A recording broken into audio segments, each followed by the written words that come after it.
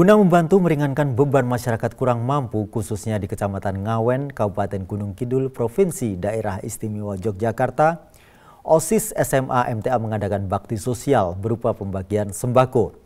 Uniknya, dana yang digunakan untuk membeli sembako merupakan hasil dari pengumpulan uang saku para siswa selama sepekan. Pengaruh gaya hidup kebarat-baratan telah menjadikan tingkat kepekaan dan kepedulian manusia terhadap lingkungan dan sesamanya dewasa ini semakin memudar. Oleh karena itu, sebagai upaya memupuk rasa peduli terhadap alam dan sesama, maka OSIS SMA MTA Surakarta periode 2017-2018 mengadakan kegiatan bakti sosial di MTA Cabang Ngawen 1 Gunung Kidul pada hari Senin. Bakti sosial yang dilakukan berupa pembagian 55 paket sembako kepada masyarakat di sekitar majelis.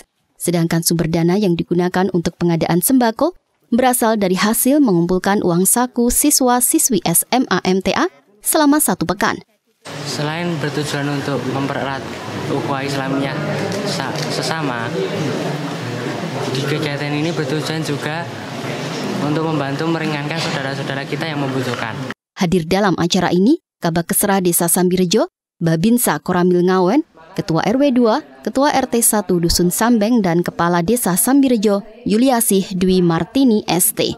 Dari pemerintah Desa Sambirejo mengucapkan terima kasih atas kegiatan pada siang hari ini yaitu bakti sosial uh, dan diikuti oleh anak-anak dari SMA MTA Surakarta yang mana memberikan bantuan kepada 50 warga kami. Semoga ini menjadi bagian dari pembangunan karakter dan kepedulian kepada warga. Kontributor Gunung Kidul Daerah Istimewa Yogyakarta, Isnaini Badarudin melaporkan.